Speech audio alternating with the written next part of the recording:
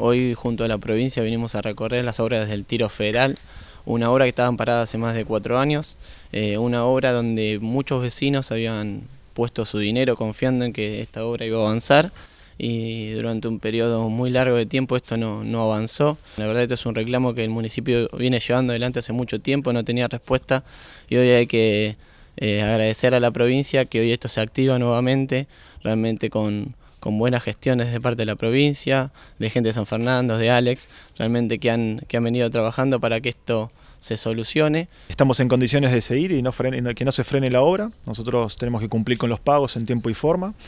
Eh, y es, es, el compromiso. Y ahora que el compromiso de la gobernadora, eh, cuando nos hicimos cargo del Instituto de la Vivienda y le mostramos eh, la cantidad de viviendas paralizadas, había más de 27.200 viviendas paralizadas, era poner en marcha todas esas viviendas y en eso estamos.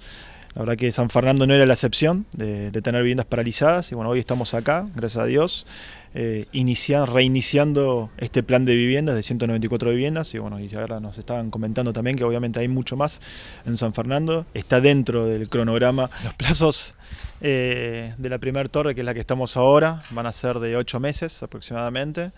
Eh, y bueno, y después vamos a seguir avanzando con el resto de las torres que todavía está también menos avanzada, pero bueno, los plazos van a ser eh, aparentemente bueno, 18 meses en terminar toda la obra con la infraestructura. La gente vino hace un mes a reclamar al Instituto de la Vivienda, tuvimos una reunión con, con el director del instituto y con los vecinos que, que han confiado en el anterior gobierno y hace cuatro años tienen la obra paralizada.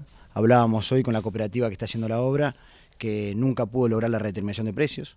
Hoy estamos logrando esa redeterminación de precios y se va a volver a pagarle a la cooperativa para que termine la obra. Recién hablábamos con, con Juan Andriotti eh, sobre otras viviendas paralizadas de Nación, que vamos a ponernos a trabajar para poder reactivarlas acá en, San Fernando. Le pudimos comentar a los vecinos cómo va a continuar la obra, que dentro de, siete meses eh, muchos de estos vecinos ya van a poder estar habitando estas viviendas. Y bueno, desde el municipio vamos a seguir controlando y, estando al lado de la provincia para lo que necesiten y bueno, y estando principalmente al lado de los vecinos para hacer la voz de reclamo o la voz de, eh, comunicación con la provincia y los funcionarios de la provincia.